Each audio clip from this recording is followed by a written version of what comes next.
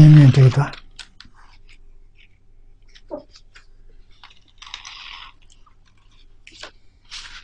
是说阿弥陀佛现医报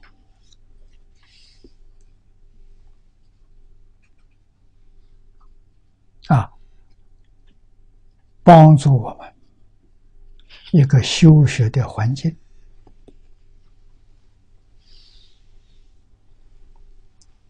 下一段呢，现正报，不但建立极乐世界，提供我们修学的场所，而且佛现身说法，亲自来指导我们，教育我们。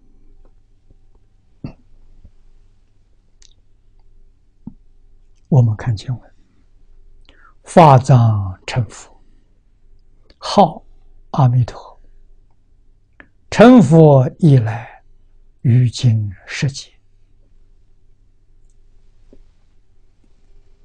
在宇宙里头，世界的时间不长啊，这无量劫才十劫，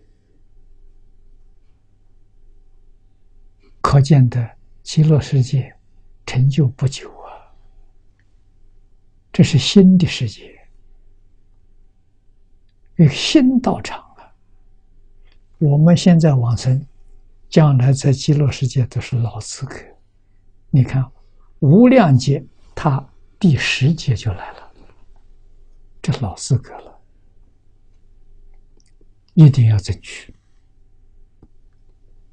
啊！这一生呢，一定要成就。我们看见了的注解，法藏比丘成佛了，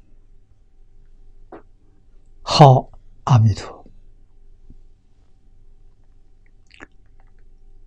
上名国土啊，是医报，上是前面一段，前面一段我们学习的讲极乐世界，这是医报，啊，就是修学的环境。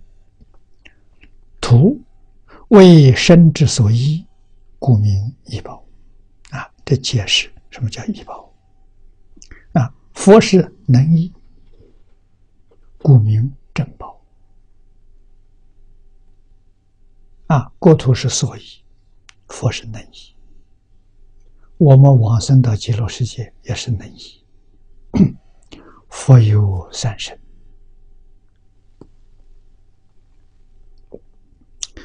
第一个是法性身，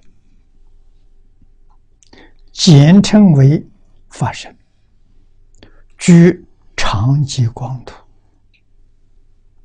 啊，这是真的。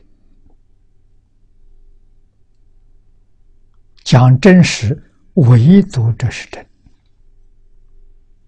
啊，为什么呢？他们有生命。这个真呢，在中国六祖慧能大师真的。